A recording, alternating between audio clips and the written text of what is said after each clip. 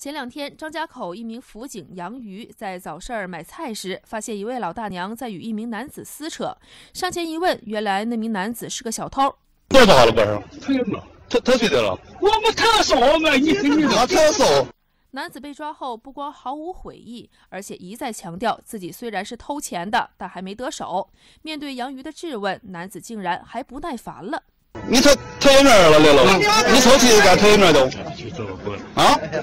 是不？我我是这个，你不会叫我走松江去？我往松江我也走。发这个我找两个同事过来啊。嗯。